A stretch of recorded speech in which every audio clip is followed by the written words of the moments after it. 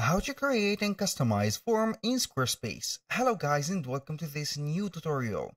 In today's video, I'm going to show you how easy it is to create a form and also customize it into your website inside Squarespace. So basically it is very easy and very simple. Follow up the tutorial from the beginning to the end and you are going to be good to go.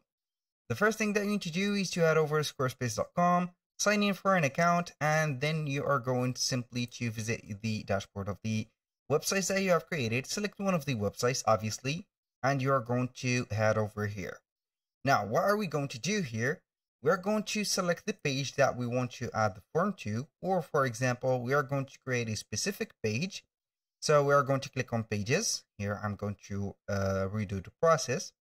From websites, you're going to click on it. We have here a drop-down menu containing pages, styles, and assets. Click on pages. Now what we're we going to do is to add a new page to the main navigation.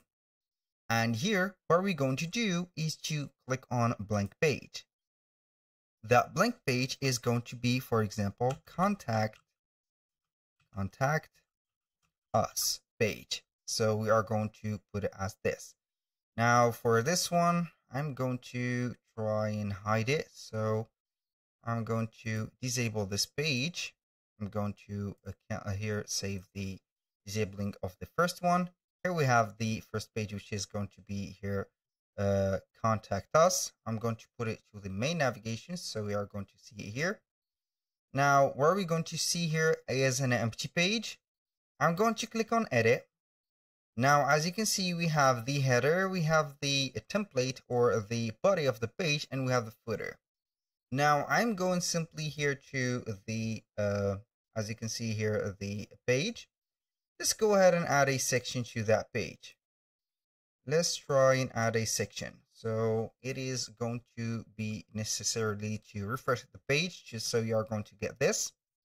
Click on here and if you want to add a contact, so we have here a preset form, as you can see, or preset contact as form, you can go ahead and choose one of these. And if you want to add here a blank section, so you are going to get that. And then we are going to add uh, the traditional form. So how we can find that form? We are going to click on add block. And from here, we have some basics, advanced, and etc we're going to head over the basics and we have here a form. So here we are going to put the form as it is. I'm going to put it here to the middle. Here basically and successfully we have added our form. So I'm going to make it just right there to the middle. Now, how can we customize that form after we have successfully added it? So we are going to click on the form. We can go ahead and stretch it if we want to make it a little bit bigger just like that. And as you can see, or we can make it a little bit smaller. So now I'm going to focus on the pen tool, click on edit. Now we are going to see three type of editing or parameters. We have the content, we have the design, and we have the storage. And these or this storage is going to be the, let's say here, the stock or the saving place that the email addresses, the messages, subject, and the information of the clients are going to head over to. So, or going to be saved. Now let's start by the content. Here for the content, you're going to see the form name as we have named the contact us form. We have here the button text, as you can see here at the end, which is going to be submit we have the edit form fields and post submit option. Now here you can see that we have the submit form. For example, I'm going to modify the button submit form. And for the form name, it doesn't matter here a lot to set it up. Now we can click on edit form fields and add some fields or delete some. So here we have basically the name, the email, the subject, and the message. You can click on any of these, uh, as you can see, fields and modify them. For example, for the name, we have here the label of it and also the requirements, if it is going to be required or not. You can go ahead and duplicate it and add it as another field. You can add a little description and that description is going to be under the name. Now, aside from that, For the email, it is going to be also like this. So here we have the placeholder. You can add a placeholder, for example, here, email, or for example, here I'm going to put example, example at example or gmail, for example.com or something like that, which is going to be the placeholder label.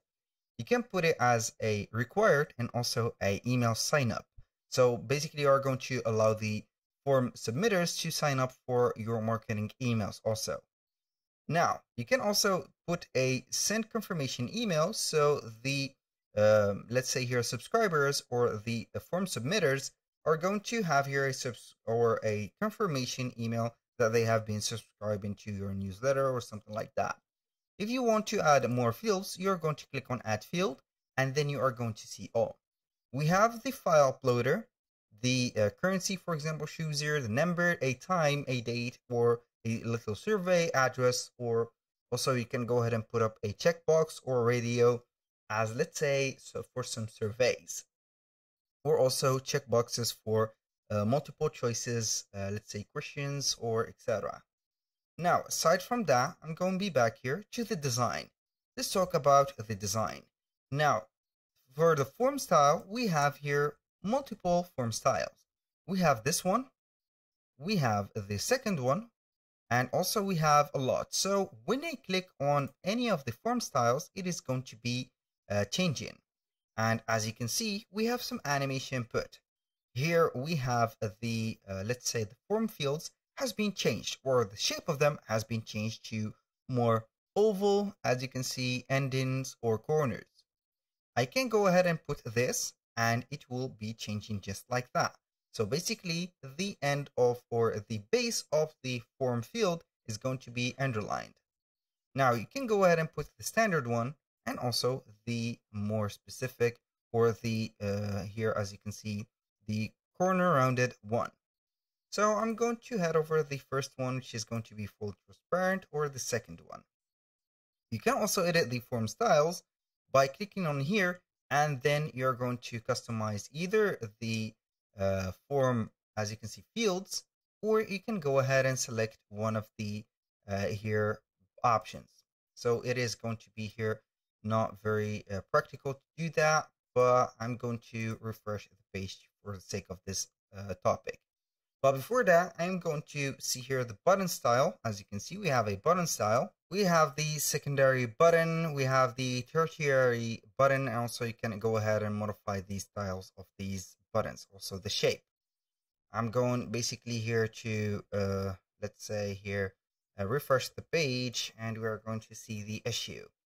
I think that we have a issue for editing the styles of the buttons or the anything uh, as you can see.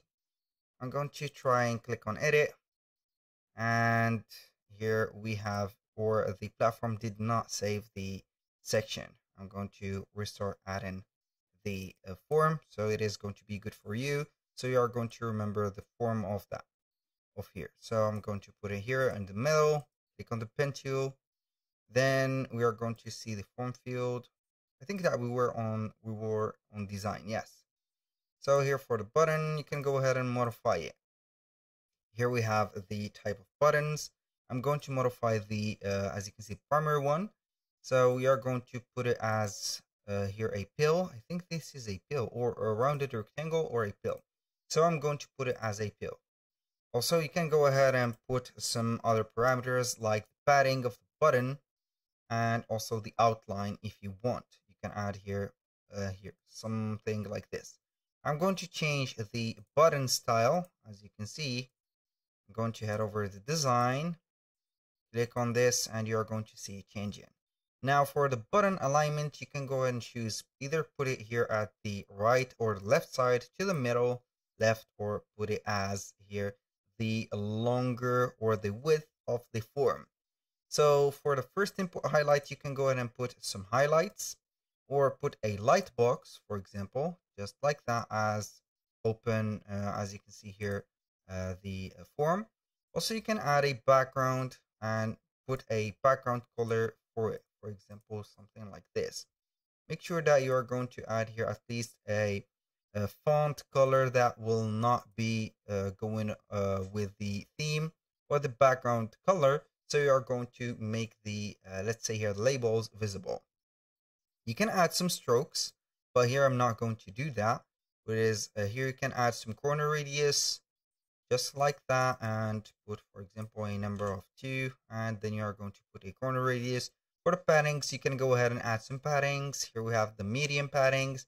The blend mode, you can go ahead and put an overlay, for example, a darkened, a or normal and also you can add some blur as you can see. Now, aside from that, we are going to talk about storage again. So here, the email notification, you're going to receive an email when someone sends you a, a form response to this email address. You can add, for example, here, another or additional storage like MailChimp.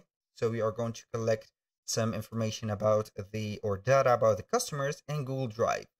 For MailChimp, it is going to be the most suitable. Why? Because it is going to have here contacts created in them uh, or the uh, database of MailChimp of your account.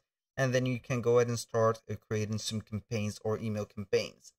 And also for the submitting of the emails, I think that you're going to get them on Squarespace. So also Squarespace has a marketing platform that will help you to set up the uh, let's say um, marketing purposes or marketing in general uh, campaigns. Aside from that, we can edit this section here and put here a background color for that section or something like that here uh, aside from the uh, form itself. Basically, that was all for today's video on adding a form.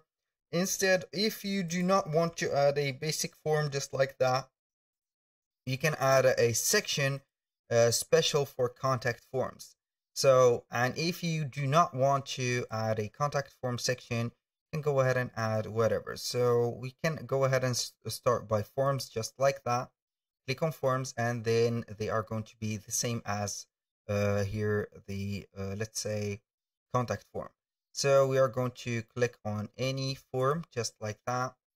This is another form type of form. So we are going to get the form integrated, but it is going to have more questions. So you are going to get all the same settings. So we have only some fields added and this is it. These are going to be, let's say here, pre-made forms. So you are going to get an image inserted, a title, a big title, the same button and the same aspects.